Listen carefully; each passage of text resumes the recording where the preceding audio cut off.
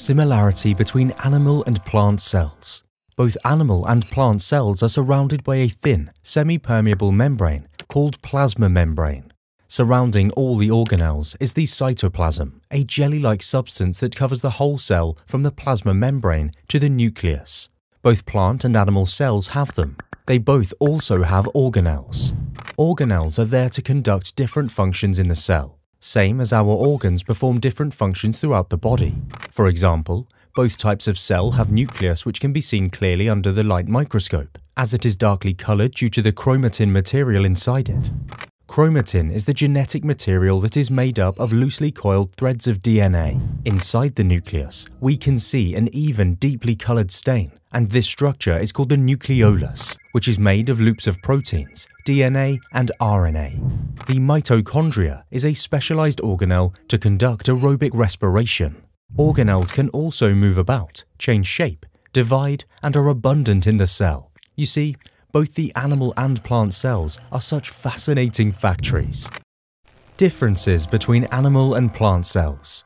A structure present in animal cells and not in plant cells is the centriole. Under the microscope, centrioles look like small structures close to the nucleus.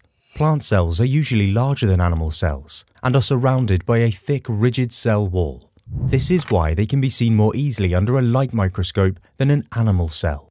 The cell wall gives the plant cell a definite shape, preventing the cell from bursting when it enters by osmosis.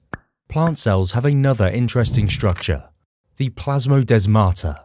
The plasmodesmata is like a road connecting a neighbourhood together. Substances sent to neighbouring cells with the help of cytoplasm, which pass through pore-like structures in the cell walls. Plant cells also have large vacuole that covers most of the cell. It is filled with fluid of mineral salts, sugars, oxygen, carbon dioxide, and even waste products. Some pigments that give colour to fruits and vegetables are also located in vacuoles. Did you know that the pigment of the red colour of beetroot is also located in vacuoles? In plant cells, the vacuole is also surrounded by a membrane called the tonoplast that controls exchanges between the vacuole and the cytoplasm. Most plant cells also bear chloroplasts that help them carry out the process of photosynthesis. Animal cells do not have this.